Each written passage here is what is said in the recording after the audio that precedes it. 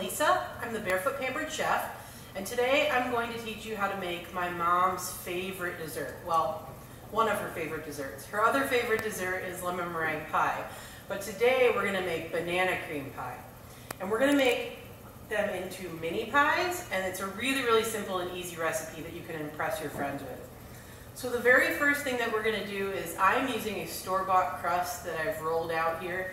Uh, you can use any kind of crust that you want. You know, if you want to make your own or use a store-bought, either way is fine. So this is my store-bought crust, and if you get the mini pie pan from Pampered Chef, it will come with these little cookie cutters this is the perfect size of crust to fit within each one of these little holes. So what I'm going to do is I'm going to make three of them today. If you want to make six, which is the whole pan, you just need one of the two crust boxes or enough crust to make uh, two 9-inch pies. So what I'm going to do is I'm going to go to the far edge here and cut a circle. I'm not going to pick it out yet and I'll show you why. And I'm going to make another one over here and then one more.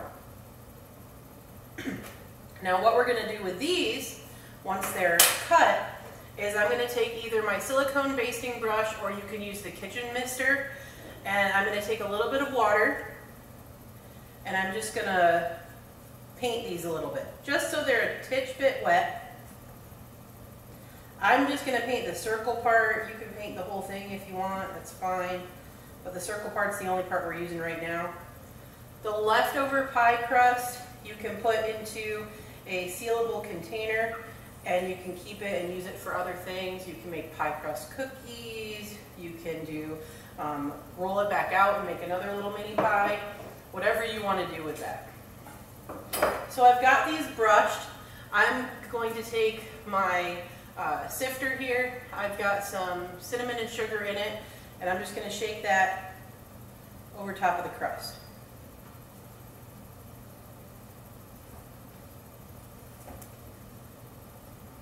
So I've got those nicely coated.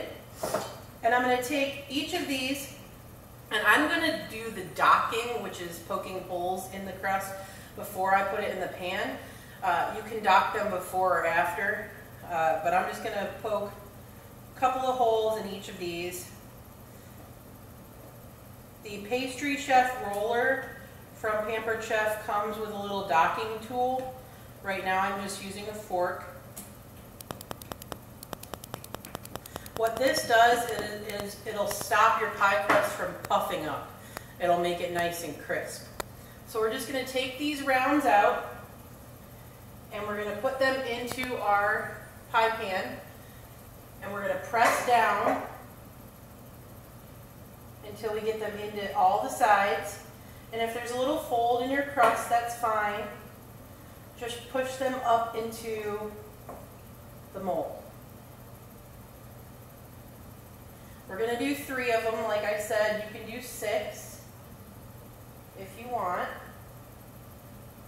Push these in here. I've got my oven preheated to 450 degrees and we're going to cook these for approximately 9 to 10 minutes. Now I did a few beforehand and my 9 minutes in my oven was a little tiny bit too much. Some of them got a little bit too brown on the top. So you just want to keep an eye on them and make sure that they're not getting overly brown. So if you see, I've put these in there. I might throw another couple little docking, more docking holes in them, just to make sure they don't puff up too much. And I'm going to pop these in the oven. If you're someone that likes to forget that things are in the oven, like me, I always suggest putting the timer on before you even go do anything else. This pie crust I can use later for other things, so I'm just going to set that aside until I can deal with it. Now what we're going to do is I'll show you here. I've got a couple of pie crusts that I've already baked off. And we are going to take some bananas, two bananas for this recipe and it should make five or six, six mini pies. Ah! making bananas won't open. Okay. So I'm going to open both of my bananas. I'm actually going to move this crust so I can bring my chopping board back here. There we go. Now, I don't want to have to sit here all day and cut these bananas into little super thin slices. So what I'm going to use is my egg slicer. You can get an egg slicer plus from Pampered Chef. So I'm just going to put my banana in here, just in pieces. Bring that down. And I have perfectly finely sliced bananas. So I'm going to do a couple more of these. Because we're just going to do these three crusts here. So we're going to use one banana.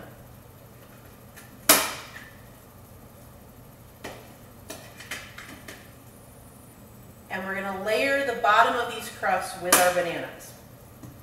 And then I'll show you how to make the super easy filling. So, so far, recipe isn't too hard, right? Pie crust, bananas. So we're just going to take these bananas and layer the bottom of our pie crust.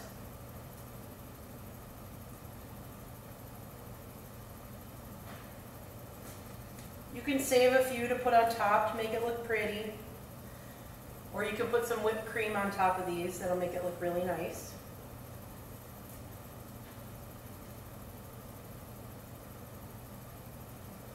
I've got those layered there. Layer one more here. This recipe may actually make more than six little mini pies. Because I've got some bananas left over.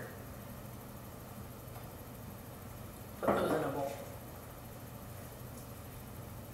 Alright. Let me wash my hands really, or wipe off my hands really quick and we'll make the filling. So the filling's super easy as well. I'm going to take my batter bowl. I am going to add in one and a half cups of milk. So I've got this in my three cup silicone prep bowl I'm just going to pour that in. And I'm going to add one package of banana cream instant pudding pie filling. So it's a 3.4 ounce package. I'm just going to add that in. I'm going to take my whisk and I'm going to start whisking that until it gets a little bit thick. So about two minutes, I would say. What we're going to do with these is we're going to pour the batter in, and then we're going to pop these in the refrigerator let them sit for approximately one hour until they're ready. After they're done, you can start uh, piping on some Cool Whip, or you can just put a good dollop of Cool Whip on them and they make really nice little personal desserts. So this is starting to thicken up a little bit. I'm going to whisk it just a little bit longer.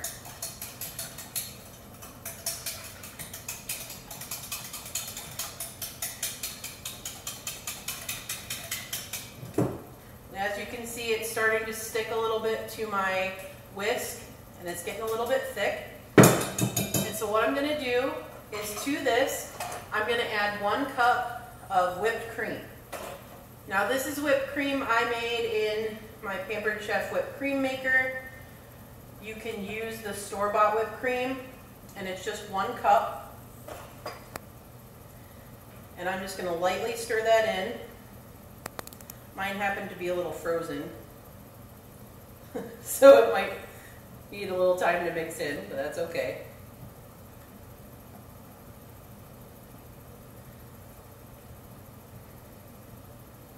This will make it nice and light and creamy and fluffy and a little bit less uh, like just the pudding flavor to it. And as you can see, it started to change to more of a white color as opposed to that yellow uh, banana color. Just getting all the clumps out of here.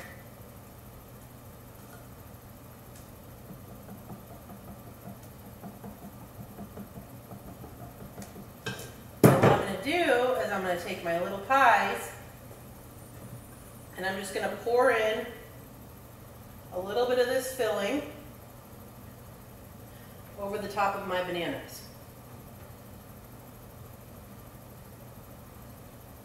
And that's going to set up and make our pie. So like I said, perfect filling. Pop these in the refrigerator for an hour and you'll have a really nice homemade dessert. For all of this and more, you can go to www.pamperedchef.biz backslash Lisa Wright, L-I-S-A-W-R-I-G-H-T. You can also find me on Twitter, Twitter, and you can find me on Instagram at hashtag barefootpc, and you can find me on my YouTube channel, The Barefoot Pampered Chef. I hope you found some good tips with this recipe, and I will see you later. Thanks.